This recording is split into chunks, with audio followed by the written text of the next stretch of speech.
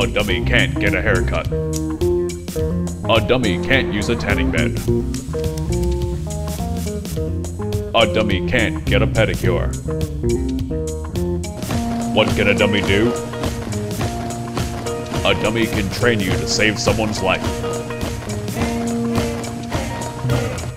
To find out how, call Tongass Substance Screening, the safety specialists.